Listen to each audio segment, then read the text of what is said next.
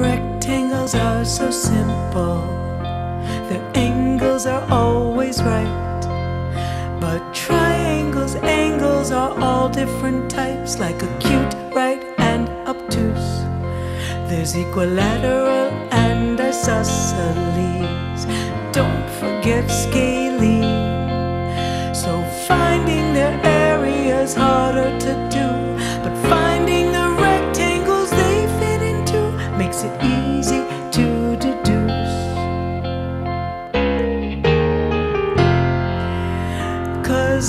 Everybody knows how to find the area of a rectangle. Just multiply the base times the height. But what do you do for a triangle?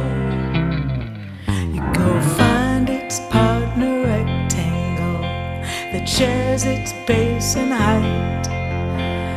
Finding the area is easy to do, then just divide by two. Just divide by two. Let's take a five by ten rectangle with an area of fifty. Any triangle that fits inside and shares the same base and height. You know it's gonna be half the area.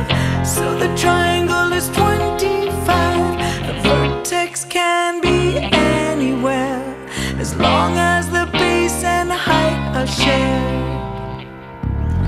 Let's try another rectangle, one that's three by nine. Thirteen and one half is the area of the triangle.